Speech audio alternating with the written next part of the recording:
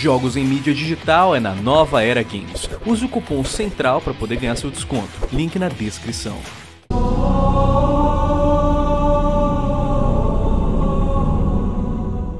Galera, faltam poucas semanas para o início da E3, a maior conferência do mundo gamer, em que a gente tem grandes anúncios de franquias, novas gerações e etc. E olha, essa conferência da E3 2019 promete muito. A gente promete o review oficial da nova geração, novas IPs, novos games insanos e, cara, promete muita coisa. E acontece que recentemente a gente teve um vazamento de um usuário no website NeoGAF que ele basicamente sabe, debulhou toda a conferência da Xbox na E3 2019. Então a gente tem muita, muita coisa para poder falar. Vai ser um vídeo até um pouco longo, então já se prepara, já pega aí um lanchinho da tarde, a gente vai passar essas informações para você e dar a nossa opinião, beleza? Então galera, aqui com vocês é o Lion da Central, e agora eu, White, a gente vai explicar para vocês todos os vazamentos da conferência da Xbox na E3 2019, né, cara? É, e só pra deixar claro aqui pra galera também que assim, sempre vazamentos são rumores, então pode acontecer tudo que a gente falar aqui, como também pode acontecer nada, certo? Só que o cara que postou isso aqui, ele deixa é, claro que ele é um cara que está muito perto das empresas, que ele tem muitas pessoas que ele conhece. Ele até deixa várias fotos de eventos que ele vai, cartões de empresas, cartões de desenvolvedores. Então, assim, o cara tá tentando passar credibilidade aqui, a gente vai ler o que ele falar. Muita coisa aqui é meio óbvia, mas tem coisas aqui que a E3 promete, cara. Se acontecer isso, promete mesmo. Exato. Foi no website NeoGaf que o usuário Braudir uh, postou o, o, o tópico Os próximos 18 meses da Microsoft. A calma antes da tempestade. E esse daqui é um post que ele dá um famoso Massive Info Dump, né, que é um monte de informações é, sobre o evento da Microsoft esse ano. Ele dividiu em várias sessões. Ele dividiu em coisas que estão acontecendo, que vão acontecer com quase certeza, quase que absoluta. Lembra? As coisas podem mudar, mas é quase absoluta que vai rolar. Coisas com grande possibilidade de rolar, coisas mais ou menos, coisas dificilmente vão rolar e coisas quase impossíveis. Então, é legal que ele dividiu isso por possibilidades agora a gente vai passar para vocês. Então, coisas que estão acontecendo que ele tem quase certeza absoluta que vai rolar. A gente vai ter Halo Infinite, a gente vai ter novas informações, é, novos trailers e a data de lançamento vai ser pro final de 2020, lembrando que vai ser um jogo cross-gen. Isso aqui é quase confirmado, né, cara? A gente já teve Halo Infinite no ano passado, então claramente eles vão trazer mais informações esse ano, né? É, Lion, essas informações aqui, muitas delas são praticamente já confirmadas, né? A gente também tem, por exemplo, o Gear 5, que foi revelado ano passado, só que esse ano eles vão dar a data de lançamento, vão fazer uma demonstração também do multiplayer, walkthrough, e a data dele será em setembro, o que diz os rumores. Certo, ele também falou que vai ter Gear Tactics, a gente vai ter um novo trailer, vai ter uma data de lançamento para PC, e ele disse que vai chegar ainda esse ano o Gear Tactics. Ele falou que a gente vai ter o trailer final com a data de lançamento de Ori and the Will of the Wisps, que vai estar tá no final deste ano também.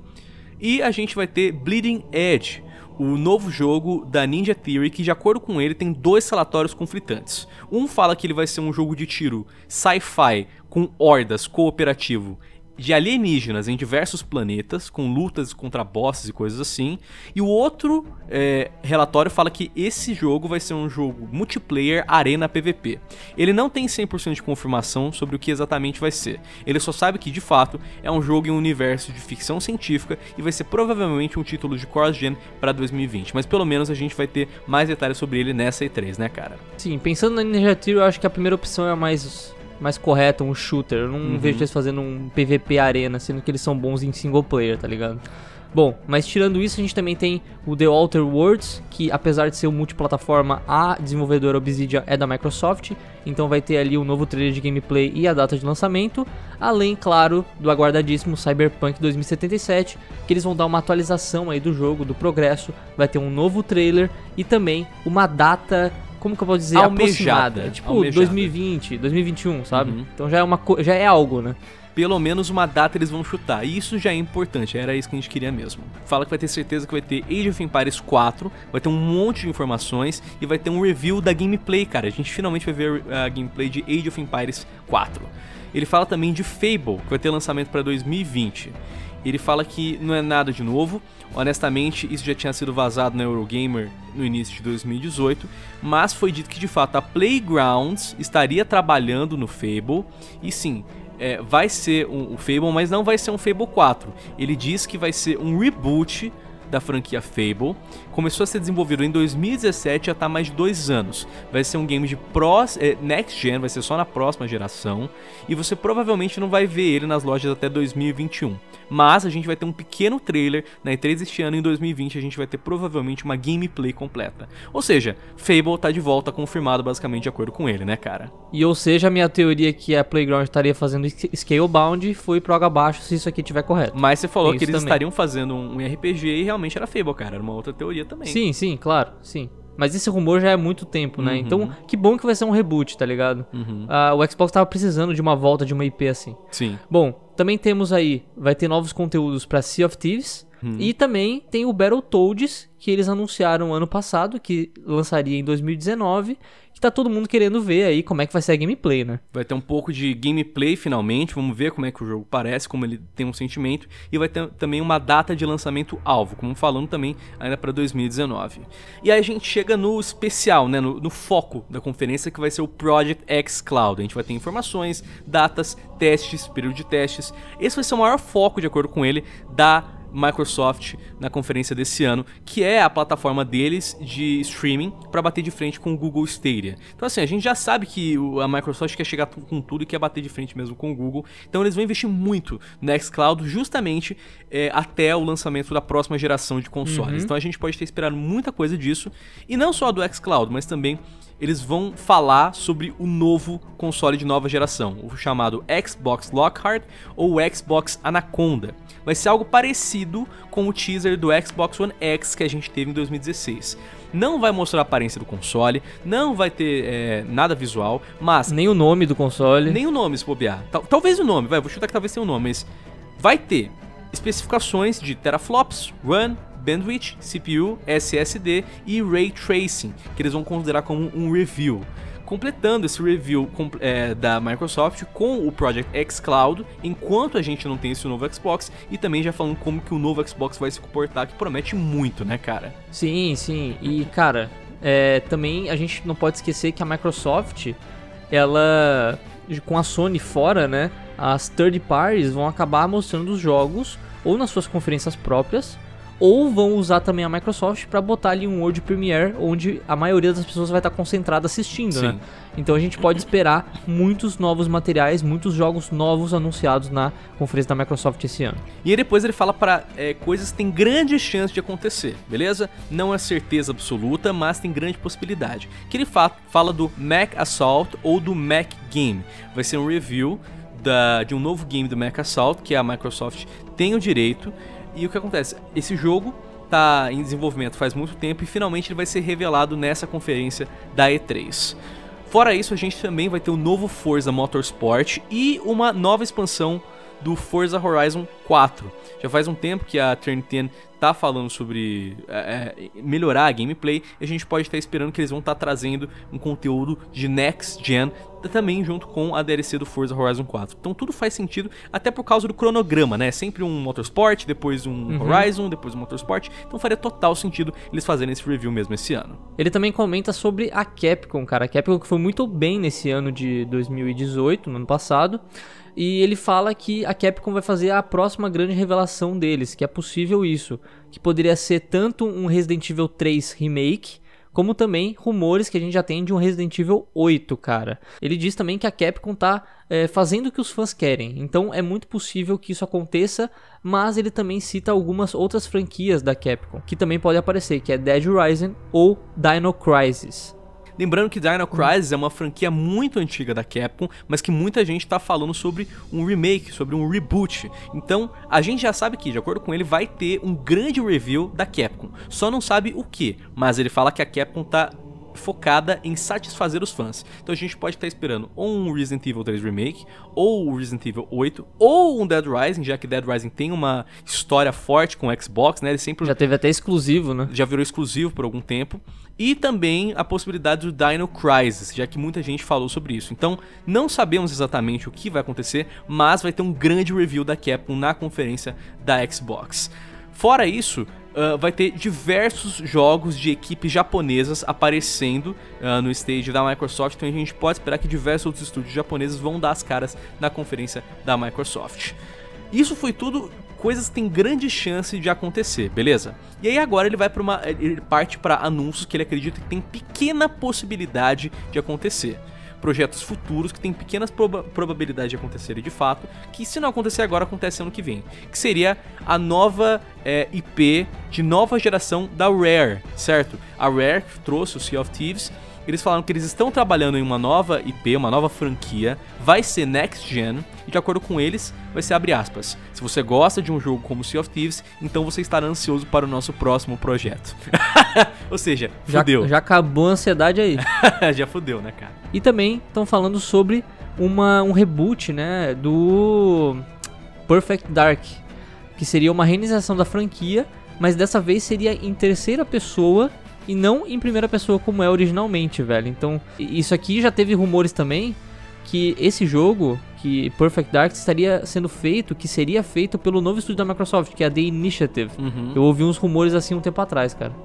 Ele fala que ele não está sendo desenvolvido pela Rare, mas está sendo supervisionado pela Rare, que é a criadora, né, a dona da franquia.